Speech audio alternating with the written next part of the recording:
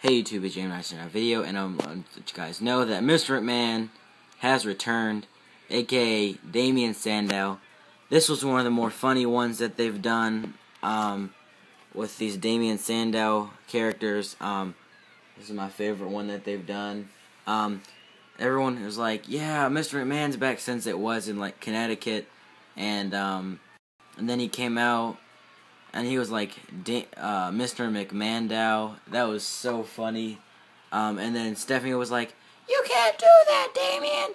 And then he was like, "I, Mr. McMahon, uh, would like to put Damien Sandow in the battleground match for the Intercontinental Championship, like I already said in the Bad News Barrett video." He he was, and then she was like, "Damien, you can't do that." And then um, she, Triple H did the same thing a long time ago, but this one was not as it was kind of um, Triple H one was more goofy. I mean, this one was goofy too, but it was still cool both of them. And uh, um, I just wanted to do one on this because I really like this one. And uh, my favorite McMandow, Mr. McMahon, Mc, Damien McMandow, Sandow, whatever. And uh, yeah, that's about it. Don't forget to comment, rate, subscribe. Bye.